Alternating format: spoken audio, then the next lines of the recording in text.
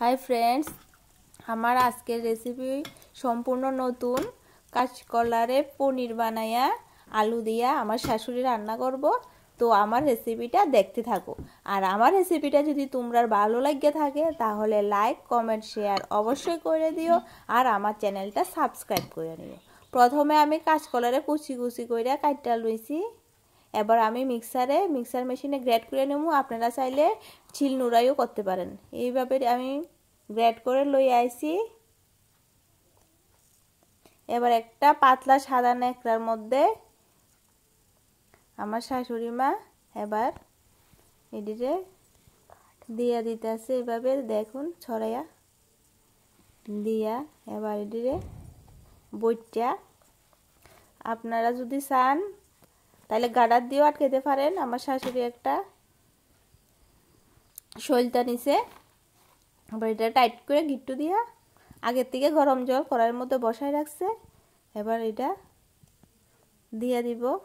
দেখুন জলের পরিমাণ। এবার দিয়ে দিব। দিয়ে দিছে, এবার দিয়ে দিছে ডাকনা দশ মিনিট পর আবার আয়া পড়ুন। আয়া পড়ছি দশ মিনিট পর। বেশিক্ষণ লাগে না। কি সুন্দর হয়েছে।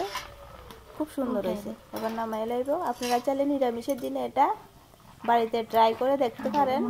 আশা করি ভালো লাগবে। নামাই লাইতেছে। এবার এটা খুলে হইব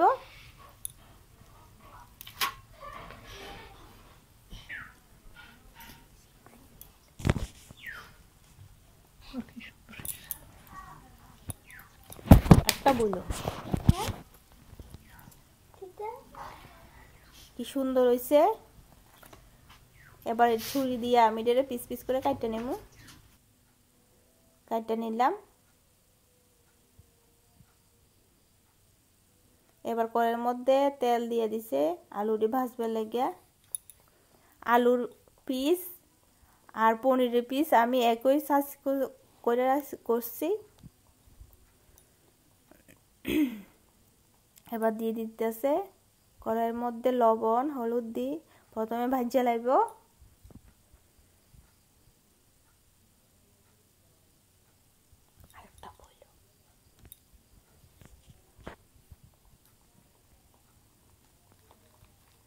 এবার পনিরের মধ্যে দিয়ে দিতে আছে লবণ, হলুদ দিয়ে পনিরটিরও ভাজিয়ে লাগব।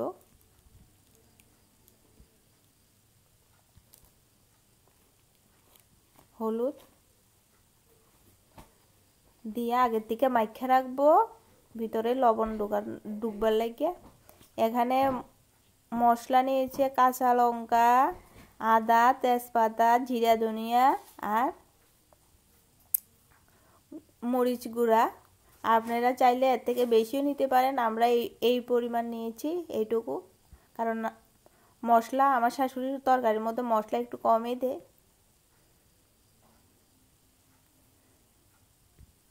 মশলা বেশি খাওয়া স্বাস্থ্যের পক্ষে ক্ষতিকর। আলু ভাজি হয়ে গেছে গা, মশলা বাড়তে বাড়তে এবার নামাই লেতেছে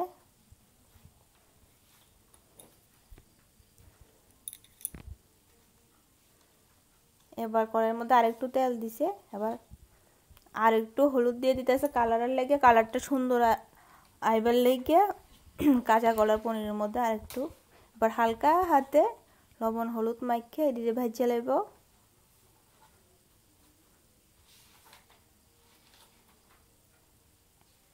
আমার শাশুড়ি মা খুব ভালো রান্না করে।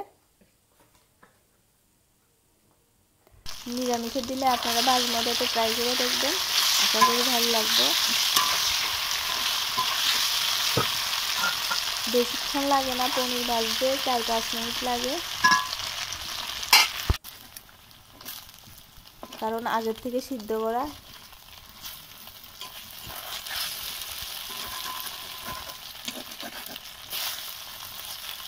খুব সুন্দর লাগতেছে আমার, খাইতে ইচ্ছা করতেছে। এবার ফোড়নে লেগে নিয়ে নিছে কালো জিরা। আপনারা চাইলে পাঁচ ফোড়নও নিতে পারেন।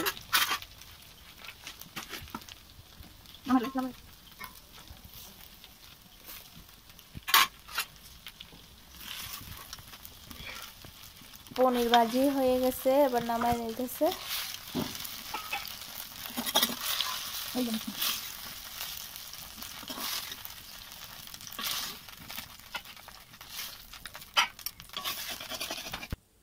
এবার আরেকটু তেল দিয়ে দিছে। দিয়ে দিছে ফুটনের লেগে পাঁচ কালো জিরা, একটা তেজপাতা। এবার আগে থেকে বেটে রাখা সমস্ত মশলা দিয়ে এবার মশলা কষাইব।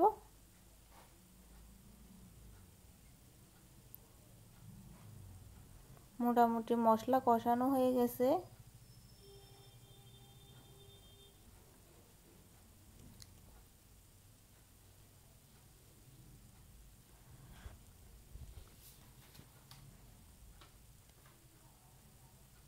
এবার আগের থেকে ভাজে রাখা আলু দিয়ে দিছে।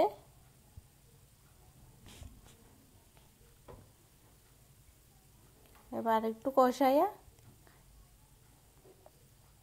পরিমাণ মতো ঝোল দিয়ে দিব। ঝোলটা একটু বেশি দিতে হইব ফ্রেন্ডস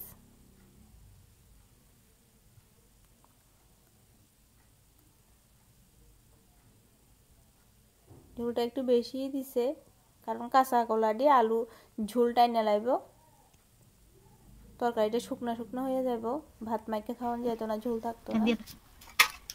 এবার দিয়ে দিতেছে পনির।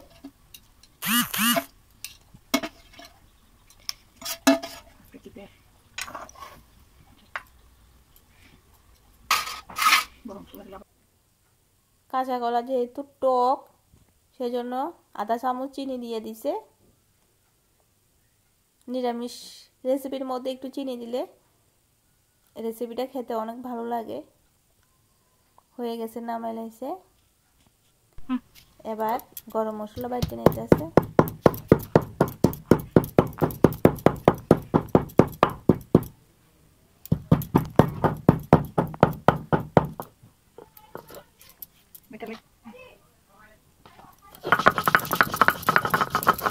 চাউল দুধ দিয়া আমার শাশুড়ি বা গরম মশলা বাড়তেছে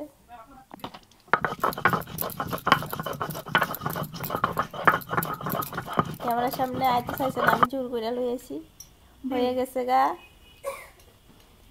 কাঁচকলার পনির রেসিপি কেমন হয়েছে তোমরা কমেন্ট করে জানাইবে। আমার শাশুড়ি খুব খুশি হইল। খুব সুন্দর হয়েছে ফ্রেন্ডস দেখুন, আশা করি খেতেও ভালো হইব।